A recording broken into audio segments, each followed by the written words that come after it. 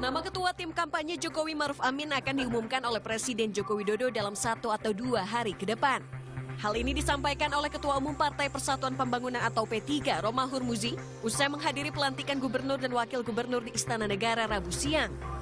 Meski keputusan siapa yang akan dipilih berada di tangan Jokowi, Romi bocorkan ada tiga nama yang masuk bursa ketua tim kampanye Jokowi Maruf Amin. Ada nama Pak Hairul Tanjung, ada nama Pak Erick Thohir, eh, dan juga ada nama eh, wartawati Mbak Najwa Shihab begitu. Tetapi bisa juga kemungkinan di luar itu karena sepenuhnya keputusan ada di tangan Pak Jokowi. Nama ketua tim kampanye Jokowi Maruf Amin disebut menjadi prioritas utama untuk ditentukan dalam waktu dekat. Nantinya ketua tim kampanye akan mengatur strategi dalam mengeksekusi arahan Jokowi Dodo Maruf Amin. Prihardani Purba melaporkan untuk NAT.